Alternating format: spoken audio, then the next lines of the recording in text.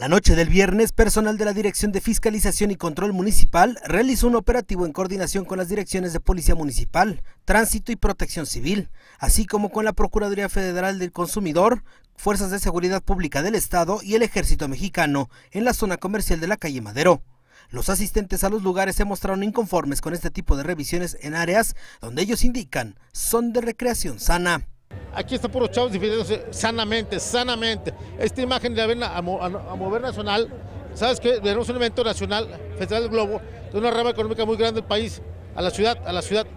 Y está fatal, ve cómo están todos, o sea, nomás quiero que voltees, tú haces una panorámica todas las, está el ejército, o sea, no impentes, o sea, ¿qué hay aquí? O sea, ¿qué hay aquí? O sea, por vender bebidas embriagantes a menores y por realizar bailes, respectivamente, dos restaurantes bares ubicados en la calle Madero serán sancionados. Edgar Jiménez Arcadia, director de Policía Municipal, indicó que estos operativos se hacen los fines de semana, con el objetivo de revisar que se cumpla la normatividad, pero principalmente para evitar venta de alcohol a menores, la revisión de vehículos con papeles en regla y si existe venta o consumo de drogas o armas punzocortantes ya se localizaron menores, ya se recuperó un vehículo con reporte de robo.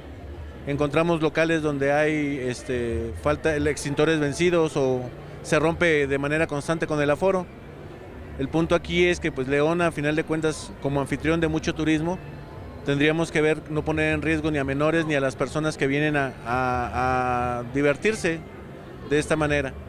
El fin de semana se visitaron siete negocios ubicados en la calle Madero de la zona centro y que solo en dos se encontraron anomalías. Se recuperó un vehículo con reporte de robo y se detuvieron a cuatro personas por consumir bebidas embriagantes en vía pública. Manuel González, camarógrafo. Alejandro Gibrán, Bajío Noticias.